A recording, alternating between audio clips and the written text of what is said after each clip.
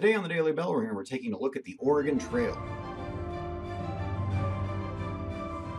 Hello, welcome to the Daily Bellringer. Please don't forget to subscribe and take a look at the questions down in the description. And as always, I'd love to see your answer to question number five in the comments below. So today, the Oregon Trail, and I promise we're going to survive this episode without dying from dysentery. Now, if you didn't get that reference, that means you're not as old as me, or you're not a fan of retro 1980s or early 90s video games. But if you're interested, actually, I do have a link down in the description to a uh, online site where you could play the Oregon Trail uh, video game. Uh, the Oregon Trail really in the early to mid 1840s this became a big thing. Thousands of americans began to you know basically get oregon fever that they wanted to move west and they're really prompted by several things. If you think about it, of course we have lewis and clark who had explored that whole louisiana territory. That was beginning to pull people to the west. We had manifest destiny and of course you know if you want to see more about manifest destiny check out my other video talking about manifest destiny which was pulling americans to the west. But then also we had an economic depression the panic of 1837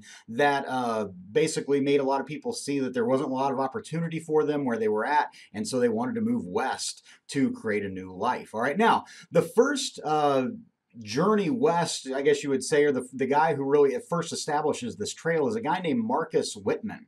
Um, he was a Protestant missionary who basically uh, was convinced he could convert Native Americans to Christianity in the West. And so in 1835, he begins to go west and he follows this pathway all the way to the Rocky Mountains, but he turns back.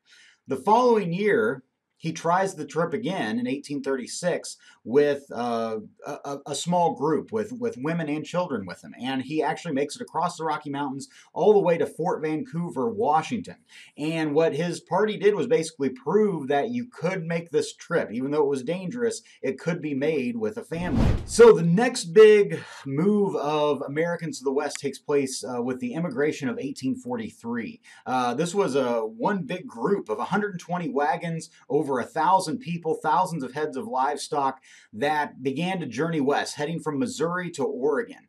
And really, once they made it to Oregon, this really opened up the floodgates to more pioneers following behind them and following the trail. So Americans began to organize uh, societies or clubs to gather information and start planning this huge trip. And also, Americans began to save money for uh, these wagons, these covered wagons that we think of today, the uh, Conestoga wagons or, you know, the, the prairie schooners, whatever you want to call them, basically kind of like the RV or mobile home of the West, that basically you had everything that you needed in, in this wagon. Um, the wagon cost somewhere around $250 in 1840s money. Of course, today that would be closer to $7,500. So this was a pretty big investment. And of course, people would be selling their homes, selling all of their belongings to start gathering the materials they needed. But these wagons, they could carry carry up to six tons, usually pulled by six horses or oxen.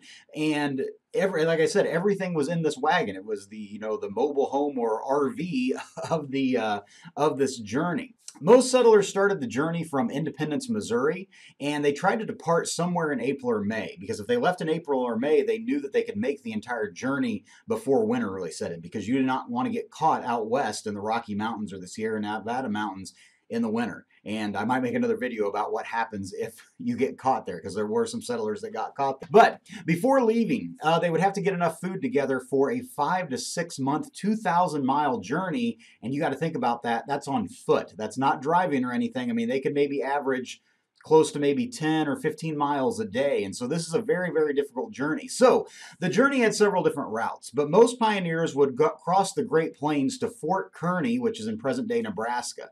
From there, they would then follow the Platte River for over 600 miles until they reached Fort Laramie, which is in Wyoming. The next big landmark was Independence Rock, where a lot of settlers would carve their names onto this rock. Um, and it kind of marked the halfway point that you needed. And the reason they called it Independence Rock was because it was expected that you reach this before July 4th. Otherwise, you weren't going to make the journey before winter set in. So Independence Rock was a big landmark. Um, from there, they would then start crossing the Rocky Mountains, and then they would find the uh, Columbian River and follow that then to Oregon City. So the entire route basically went from Independence, Missouri, all the way to Oregon City. Now it's estimated that one in 10 settlers died uh, on the journey because, again, you know, you're out in the middle of nowhere. If you get any kind of illness like cholera, dysentery, you get hurt, anything like that, there's not really anybody around that could help you. Now, the, the trail did have several different branches. I mean, yes, the main trail went to Oregon, but there were trails that would lead into Washington and then ones that would lead into California. And it's estimated that over 400,000 Americans made the trip uh, heading west. But as more and more Americans headed west, of course, little towns and little uh, supply posts would popped up along the way, making the journey much safer. But by the late 1800s, of course, we had the Transcontinental Railroad that is built. And basically, with the building of the railroads, that basically eliminated the need for the trail itself. So, again, hopefully you learned something there. Don't forget to answer question number five in the uh, comments below. And don't forget to check out the link to play the Oregon Trail game online. Okay, thanks for watching.